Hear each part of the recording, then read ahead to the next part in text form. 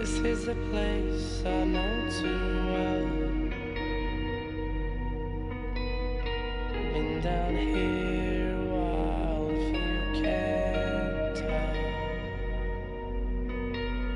And I have analyzed and tried.